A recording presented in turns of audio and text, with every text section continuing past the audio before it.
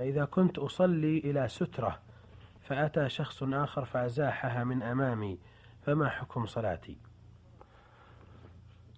صلاتك صحيحة وإزاحة السترة لا تبطل بها الصلاة وإنما عليك أن تمنع المار بين يديك أي بينك وبين السترة أو بينك وبين موضع سجودك. ما أمكن ذلك. ومن أبى أن يمتنع فليدفع ولو بالقوة. فإن النبي عليه الصلاة والسلام أمر المصلي أن يدفع المار بين يديه وأن يرده بقدر ما يستطيع يبدأ بالرفق ثم بالشدة.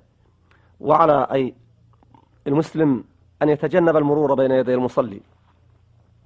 فإن النبي عليه الصلاة والسلام قال لو يعلم المار بين يدي المصلي ما عليه لكان أن يقف أربعين خير له من أن يمر فينبغي للإنسان أن يكون في غاية الحذر. والله أعلم. بارك الله فيكم.